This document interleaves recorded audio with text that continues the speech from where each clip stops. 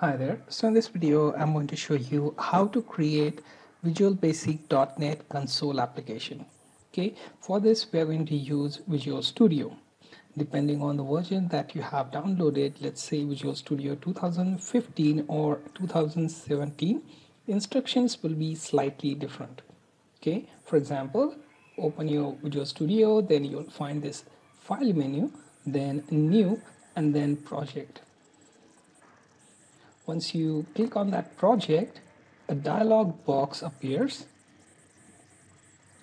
Something like this. Then you have to go to this left hand pane and find visual basic option. It's in templates and then visual basic and then console application. Now here at the bottom you have to change the name. Let's say I keep the name as demo VB and then I click on OK to store that project. It will take some time to create the necessary files for our VB.NET project.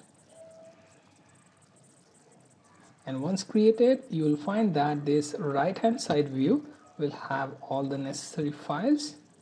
On left hand side, we will have our VB.NET project file. Okay so this module1.vb is our file inside which we are going to write our code and execute it. On right hand side class view you will find this project name. Okay if you click on it it will expand into the available set of project references.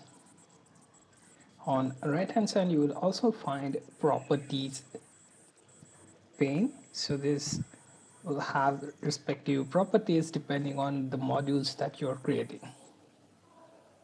Okay? Now if I choose release and then simply use this start button then it will create one blank window and it will exit your program.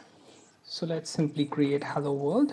So simply write console dot write and here you can use let's say hello and then my YouTube channel name Devnami.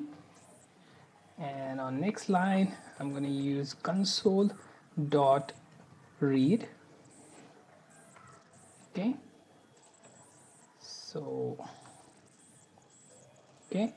Now I'm gonna click on the start button which will execute my VB.NET console application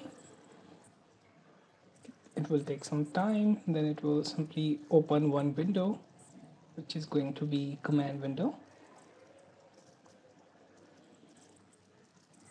And as you can see this command window has hello Devnami as the console message. Okay now if I simply close this using mouse or simply use control C it will exit. And we get back to our module1.vb file. Okay in next few set of videos we will go through the basics of vb.net uh, some of the things as control flow. Then we will take a look at some of the functions and also what else you can do with vb.net on console